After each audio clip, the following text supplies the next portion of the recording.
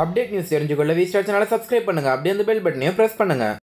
Hello விவாஸ் இன்னைக்கு நம்ம சேனலில் என்ன பார்க்க போகிறோன்னா ஒவ்வொரு சிறப்புக்குரிய நாட்களையும் கண்டுபிடித்து அந்த நாளுக்குரிய சிறப்பான கடவுளை வழிபட்டு அந்த கடவுளுடைய முழு ஆசீர்வாதத்தையும் நாம் பெற்று வருகிறோம். அந்த வகையில் இன்றைய நாளுக்குரிய சிறப்பு என்ன என்பது பற்றியும் இந்த நாளில் எந்த கடவுளை நம்ம வழிபடணும் அப்படிங்கிற விஷயத்தை பற்றியும் பார்க்கலாம். உங்களுடைய கடன் பிரச்சனைகள் அனைத்தும் தீர்ந்து உங்களுக்கு கோடீஸ்வர யோகம் அமைய வேண்டுமா? அப்போது இன்று முருகனை இதுபோல வணங்கி பாருங்கள். அப்புறம் உங்கள் வாழ்க்கையில் ஏற்படும் முன்னேற்றத்தை நீங்களே கண்கூடாக பார்ப்பீங்க. இப்போது இருக்கின்ற இந்த சூழ்நிலையில பாத்தீங்கன்னா நிறைய பேத்துக்கு வேலை வாய்ப்பு இல்லாத திண்டாட்ட நிலை உருவாகி உள்ளது. இதனால் அவங்களுடைய பொருளாதார நிலை பார்த்திங்கன்னா ரொம்பவே மோசமடைந்து உள்ளது. ஒரு நாள் பொழுதை கழிப்பது என்பதே பார்த்தீங்கன்னா ரொம்பவே சிரமமானதாக பார்க்கப்படுது. இப்படிப்பட்ட ஒரு இக்கட்டமான சூழ்நிலையில் இன்றைய நாளில் முருகப்பெருமானை இப்படி மட்டும் நீங்கள் வழிபட்டு பாருங்க. அப்புறம் உங்களுடைய தொழிலையும் உங்களுடைய வாழ்க்கையிலும் ஒரு நல்ல முன்னேற்றம் அடைவீர்கள். நம்பிக்கையுடன் இந்த பூஜைகளை இன்றைய நாளில் அந்த முருகப்பெருமானுக்காக செய்துட்டு வாங்க. நிச்சயம் இதனால உங்களுக்கு நல்ல பலன்களை கிடைக்கும். ஏன்னா இந்த நாள் பார்த்தீங்கன்னா ரொம்பவே சிறப்பு வாய்ந்த நாளுங்க. இந்த நாளில் அந்த முருகப்பெருமான்கிட்ட நம்ம வைக்கக்கூடிய அனைத்து பிரார்த்தனைகளையுமே பார்த்திங்கன்னா அந்த முருகப்பெருமான் உடனடியாக ஏற்றுக்கொண்டு அதற்கான பலன்களையும் பார்த்தீங்கன்னா நமக்கு உடனடியாக தருவார்.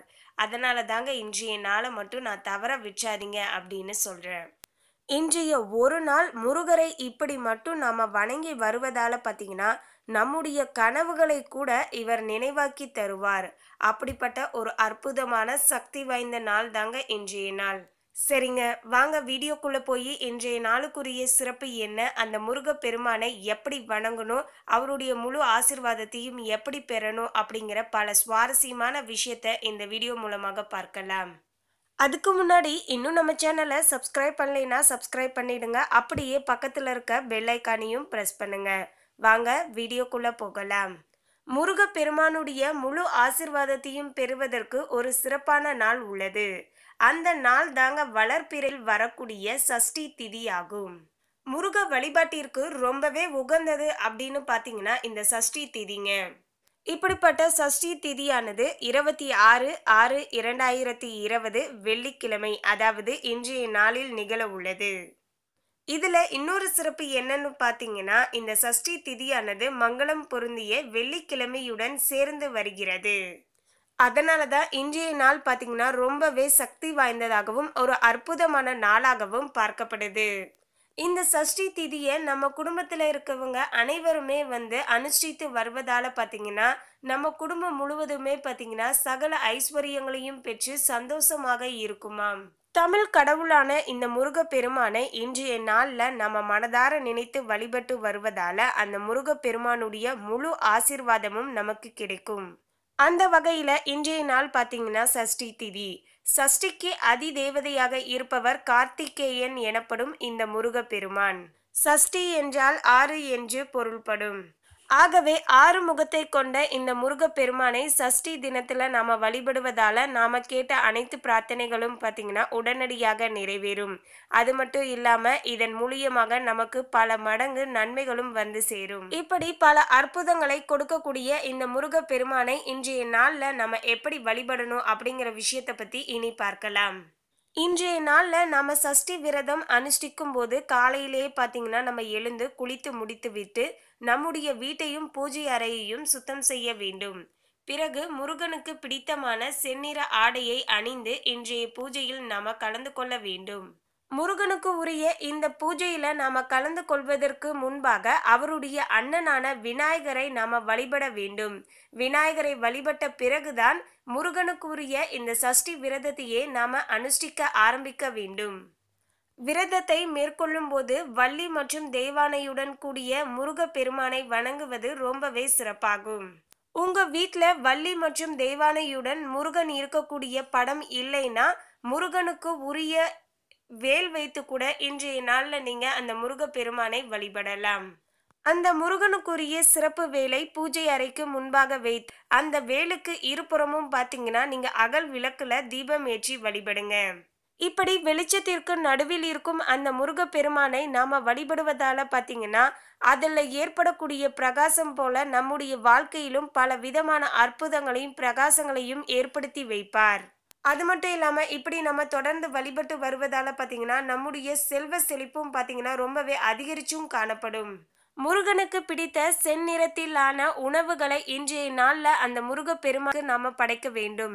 இப்படி நாம் படைத்து வருவதால் பார்த்தீங்கன்னா நம்முடைய வாழ்க்கையில் ஏற்பட்டு கொண்டிருக்கும் தடைகள் அனைத்தையுமே பார்த்தீங்கன்னா விலக்கி ஒரு நல்ல விதமான முன்னேற்றத்தையும் அடைய வைப்பார். அது மட்டும் இல்லாமல் நம்முடைய மனசும் பார்த்தீங்கன்னா ஒரு நல்ல பாசிட்டிவ் தாட்ஸோட எப்போதுமே இருக்குங்க. எல்லாத்துக்கிட்டையுமே வந்து ஒரு நல்ல விதமான பாசிட்டிவ் வைப்ரேஷனை கொடுக்க முடியும். ஒரு நல்ல பாசிட்டிவ் தாட்ஸும் வைப்ரேஷனும் நமக்குள்ளே இருக்கும்போது பார்த்தீங்கன்னா நம்ம செய்யக்கூடிய அனைத்து விஷயங்களும் பார்த்தீங்கன்னா பல மடங்கு வெற்றியில தான் முடியும். அவங்களுக்கு தோல்வி என்பதே கிடையாது. சிவனின் மகனான கார்த்திகேயன் அதாவது முருகப்பெருமான் அன்னதான பிரபு என்பதால இன்றைய நாளில் நம்மால் முடிந்த அளவுக்கு மற்றவர்களுக்கு தானம் கொடுப்பது ரொம்பவே சிறப்பாகும். இப்படி நாம இன்றைய நாளில் யாருக்காவது தானம் கொடுப்பதால பார்த்தீங்கன்னா முருகப்பெருமானுடைய மனமானது ரொம்பவே குளிர்ந்து காணப்படும். அதனால நாம வைக்கக்கூடிய அனைத்து பிரார்த்தனைகளையுமே பார்த்திங்கன்னா அந்த முருகப்பெருமானானவர் உடனடியாக நமக்கு நிறைவேற்றி தருவார்.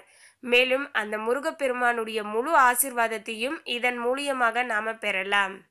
அதே போல் இன்றைய நாளில் பார்த்தீங்கன்னா நீங்கள் வந்து இரண்டு வேளை வந்து விரதம் இருக்க வேண்டும்.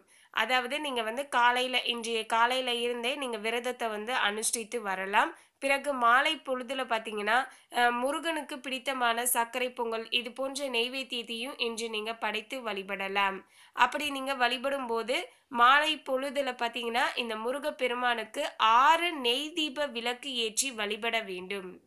குறிப்பாக மாலை நேர பூஜை பார்த்தீங்கன்னா இந்த முருகப்பெருமானுக்கு சரியாக ஐந்து முப்பது மணியில இருந்து ஆறு முப்பது மணி வரையிலான இந்த ஒரு மணி நேரத்துல இந்த முருகப்பெருமானுக்கான பூஜைகளை செய்துட்டு வாங்க.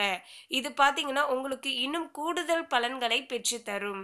முருகன் வந்து ஆறு முகங்களை கொண்டவன் என்பதால இன்றைய நாளில் மாலை பொழுதுல நீங்க ஆறு அகல் தீப விளக்கை ஏற்றி வழிபடுங்க.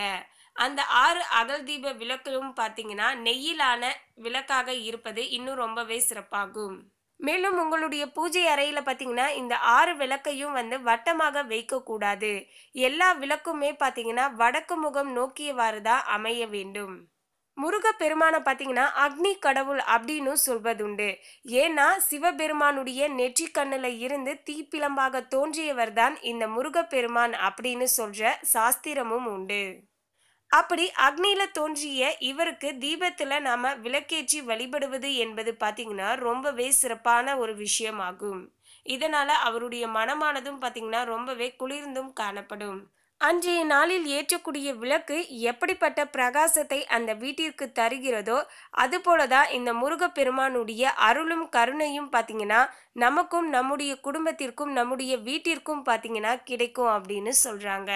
இதில் இன்னொரு முக்கியமான விஷயம் என்னென்னு பார்த்தீங்கன்னா வளர்பிறை சஷ்டியில் முருகப்பெருமான்கிட்ட நம்ம வைக்கக்கூடிய பிரார்த்தனைகள் அனைத்துமே பார்த்தீங்கன்னா அடுத்த தேய்பிறை சஷ்டியிலேயே நிறைவடையுமாம். இது சும்மா வாய் வார்த்தை மட்டும் இல்லைங்க. நிஜமாலுமே இதை நிறைய பேர் ட்ரை பண்ணி அவங்களுடைய வாழ்க்கையில் பார்த்தீங்கன்னா பல பலன்களையும் பெற்றிருக்காங்க. நீங்களும் இன்றைய நாளில் முருகப்பெருமானுக்கு நான் சொன்னது போல இப்படிப்பட்ட முறையான பூஜைகளை செய்துட்டு வாங்க. அதன் பிறகு உங்களுடைய குடும்பமானது பொருளாதார நிலையிலும் சரி உங்களுடைய மனநிலை சோர்வில் இருந்தும் உங்களுடைய பிரார்த்தனைகள் அனைத்துமே நிறைவேறி உங்களுடைய வாழ்க்கை பார்த்தீங்கன்னா ஒரு நல்ல முன்னேற்ற நிலையை அடையும். இன்றைய நாளில் இன்னொரு முக்கியமான விஷயம் என்னன்னு பார்த்தீங்கன்னா குழந்தை இல்லாத தம்பதிகள் ரெண்டு பேரும் சேர்ந்து இந்த சஷ்டி விரதத்தை அனுஷ்டித்து வருவதால அந்த முருக பெருமானே பார்த்தீங்கன்னா அடுத்த ஒரு வருடத்திற்கு உள்ளேயே பார்த்தீங்கன்னா உங்களுக்கு குழந்தையாக பிறப்பார் என்றும் சொல்லப்படுகிறது. இது பார்த்தீங்கன்னா வெறும் வாய் வார்த்தை மட்டும் கிடையாதுங்க. உண்மையிலுமே இந்த சஷ்டி விரதத்தை நிறைய பேர் அனுஷ்டித்து அவங்களுடைய மகப்பேரையும் பெற்று இருக்கின்றனர். அதாவது குழந்தை பாக்கியம் கிடைக்கும். உண்மையான நம்பிக்கையுடன் மனதார அந்த முருகப்பெருமானை நினைத்து இன்றைய நாளில் அவங்க வந்து குழந்தை செல்வம் வேண்டி மனமுருகி வேண்டி வழிபட்டால் பார்த்தீங்கன்னா கண்டிப்பாக அவங்களுக்கு குழந்தை செல்வம் கிடைக்குங்க. இது வந்து நூறு சதவீதம் உறுதின்னு கூட நான் சொல்லுவேன். எனவே உங்களுடைய ஃப்ரெண்ட்ஸ் அண்ட் ஃபேமிலிக்குள்ள இது போன்ற குழந்தை பாக்கியம் இல்லாமல் தவிச்சிட்டு இருக்கிறவங்களுக்கு நீங்கள் இந்த வீடியோவை ஷேர் பண்ணுங்க. அவங்க இந்த நாளுக்குரிய பூஜைகளை முறைப்படி செய்யட்டும். பிறகு இந்த நாளுக்குரிய பலனையும் பெறட்டும். இன்னொரு முக்கியமான விஷயம் என்னன்னு பார்த்தீங்கன்னா இன்றைய நாளில் இதுபடி முறையாக அந்த முருகப்பெருமானுக்கு நம்ம வழிபாடு செய்து வருவதால் பார்த்தீங்கன்னா நம்முடைய தொழிலில் இருந்த முடக்க நிலையும் நீங்கி நம்முடைய தொழிலில் ஒரு நல்ல லாபத்தையும் நாம் பார்க்க முடியும். எனவே இன்னைக்கு நாம் பார்த்த இந்த தகவல் உங்களுக்கு ரொம்பவே பயனுள்ளதாக அமைந்திருக்கும். மேலும் இந்த தகவலை பற்றிய உங்களுடைய கருத்தை கமெண்ட்ல பதிவு பண்ணுங்க. இந்த தகவல் உங்களுக்கு பிடிச்சிருந்தா லைக் பண்ணுங்க ஷேர் பண்ணுங்க. இது போன்ற சுவாரஸ்யமான தகவலை தெரிந்து கொள்ள சேனலை சப்ஸ்கிரைப் பண்ணுங்க. தேங்க்யூ